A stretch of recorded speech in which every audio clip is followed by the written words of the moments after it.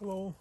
Well, light is not perfect now, but I think it still be interesting. I wanted to show you this conifer. This is a Japanese typical small-sized conifer, Cephalotaxus harringtonia.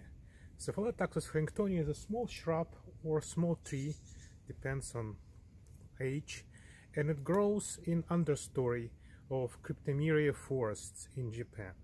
So one of important botanical feature of Cephalotaxus are its fructifications. So we cannot call it cones because it looks like a berry. However, this is not a, a fruit. This is not originated from a flower. It's just a seed, exactly like in ginkgo. So Cephalotaxus harringtonii was Uh, long considered to be a member of its own family. It might be so because it's a very old group. And that group don't typically form female cones like many other conifers do. Instead, each seed will be separate.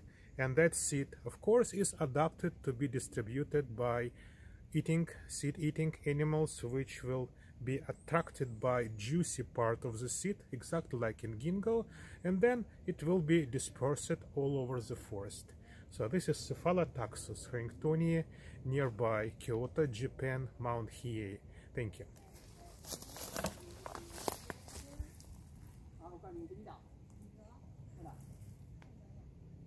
This is Cephalotaxus harringtonii seeds with a better light.